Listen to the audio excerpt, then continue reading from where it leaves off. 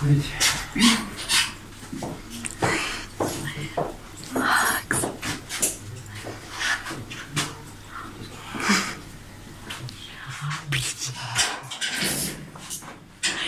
Прическа у тебя.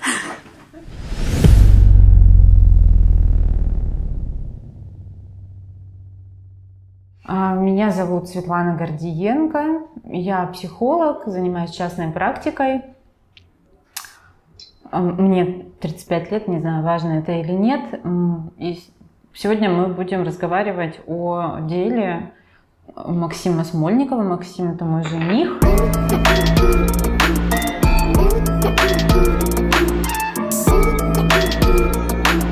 Его взяли под стражу, заключили в СИЗО в Хабаровске по обвинению в оправдании терроризма, но есть ощущение, что основные мотивы этого дела какие-то другие, например, связаны его, с его стрит-арт активностью.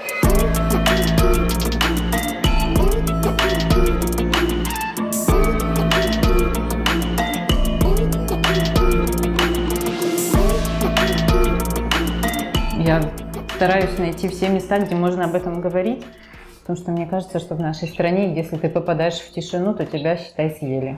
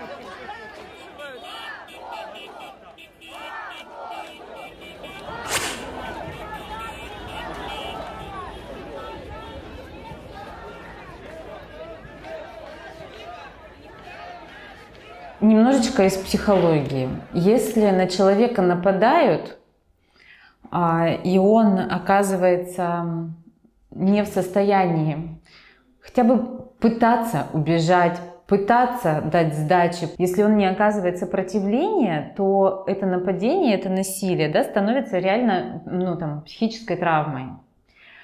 Любое противодействие насилию, а, оно работает на сохранение ну, там, психических структур.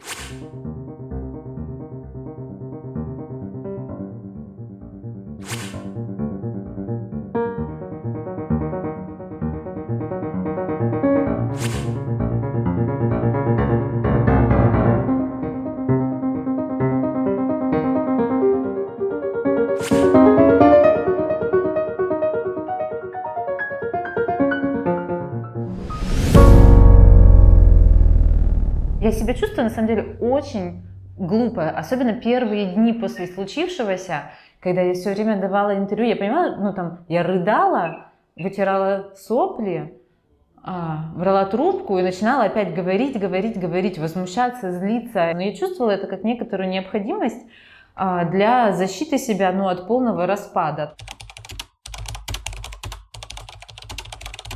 Ну, Максим такой художник-самоучка, дальневосточный художник-самоучка. Рисовал он с детства, но никогда специально не учился. Закончил он э, педагогический институт в Комсомольске на Амуре как учитель физики, там же он закончил аспирантуру. Когда ему около 30 лет исполнялось, он как-то решился вот со страниц своих блокнотов попробовать э, выйти рисовать на улицах. У него есть несколько персонажей, что ли, каких-то наработок, э, и вот на улице он вышел с таким смешным ниндзей или ниндзями. Ну, в общем, сам он их называет героический народец. И в Хабаровске у Максима ну, так много работ, что они, ну, как бы, как будто бы эти его человечки, это такие же участники ну, там, хабаровских, я не знаю, протестов, хабаровского общего направления борьбы за справедливость, в реальности развернувшиеся за Сергея Фургала, а вот на прос- пространстве гаражных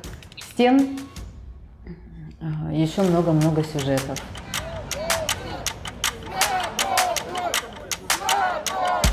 Макс вообще из тех людей, который всегда поддерживал э, художников местных, музыкантов, э, направлений, которые ему там симпатичны, да, там не, не поп звезд, а вот что-то такое андеграундное, он там делал мерч, приходил на концерты, всегда делал репосты. И вот ему никогда не было жалко, например, пространства собственных соцсетей, на репост для друга, знакомого или какого-то хорошего проекта. Он всегда-всегда-всегда откликался, такой очень был открытый. И я думаю, что ну, там, это, его, это его вклад сейчас привел к тому, что много людей его поддерживают. Ему пишут письма, ему пишут письма из разных городов, ему пишут письма там, из Москвы, из Хабаровска, из Питера. Ему присылают передачи незнакомые люди в том числе. Российской Федерации суд постановил старшего следственного отдела по Центральному району города Хабар, следственного роли Следственного Российской Федерации по Хабаровскому краю Киевской автономной области Петлюра. Удовлетворить продлить срок содержания по страждения Османика Максима Федоровича на два месяца одни сутки, а всего до четырех месяцев. Вы поймите, вот э, по делу Максима на данный момент опрошено три человека свидетелями. Один из этих людей был э, соседом лет 12 назад в Комсомольске на Амуре двоюродного брата Максима и знал его вот через такое посредничество. Лично очень мало общения, никогда ничего близкого. Другой человек видел Максима лично два раза мельком, тоже что-то видел в соцсетях.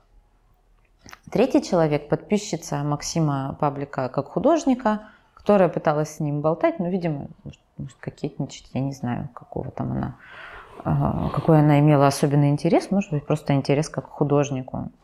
Эти три человека не знают Максима а, ни с какой стороны. Им нужен просто состав, набор бумажек, и чтобы было готовое закрытое дело.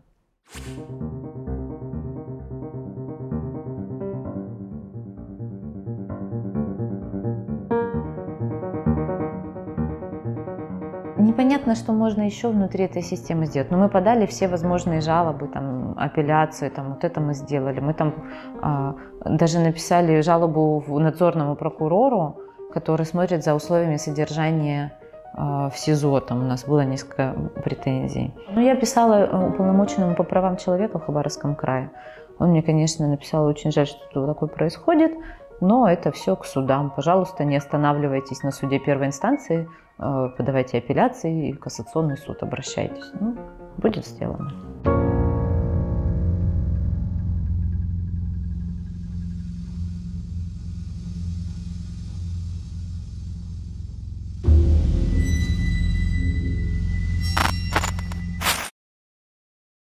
А, у нас же была еще одна важная новость, про которую я сказала, что мы поженились. Это было очень радостно. Это правда было радостно. Пришла в СИЗО в платье с друзьями. Поднялась туда, увидела один раз единственный Максима. Он такой хороший, худой, аккуратный, прекрасный, добрый. Ну, в общем, совсем не испортился. Вот.